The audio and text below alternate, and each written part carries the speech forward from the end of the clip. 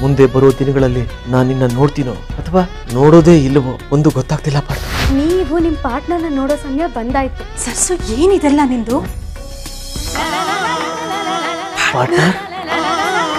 ಇವತ್ತು ನನ್ನ ಪಾರ್ಟ್ನರ್ ನನಗೆ ವಾಪಸ್ stop it stop it Aravind sir Aditi madam ನಿಮ್ಮ ಅಮ್ಮ ಅನ್ಸ್ಕೊಳಕ್ಕೂ ಯೋಗ್ಯತೆ ಬೇಕು.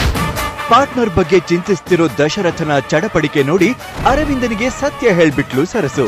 ವೀಕ್ಷಿಸಿ ಸರಸು ಬ್ರೇಕ್ಲೆಸ್ ಮನರಂಜನೆ ಇಂದು ರಾತ್ರಿ ಎಂಟು ಮೂವತ್ತಕ್ಕೆ.